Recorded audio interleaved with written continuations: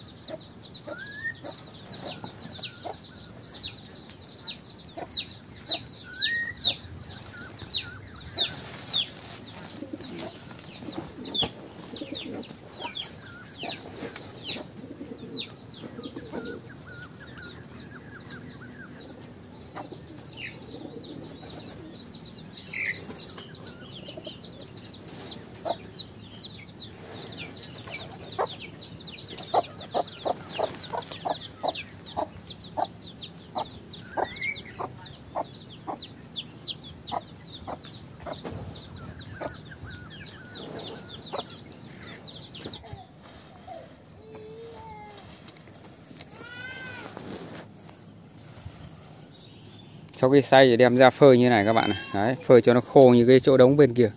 Khô xong rồi mình sẽ đưa sang cái máy trà khô kia. Máy đang phủ bạt kia nhá. Là sẽ trà nó ra trà bỏ cái vỏ lụa này ra này thành cái nhân. Với cái nhân chúng ta xay thành bột để uống cà phê đấy các bạn. Đây. Quy trình làm cà phê như mình đây. Ok nha các bạn nha. Nếu các bạn thấy video này hay thì hãy uh, cho mình một like và nhớ đăng ký kênh để ủng hộ cho mình nhé còn bây giờ thì xin chào và hẹn gặp lại các bạn nhé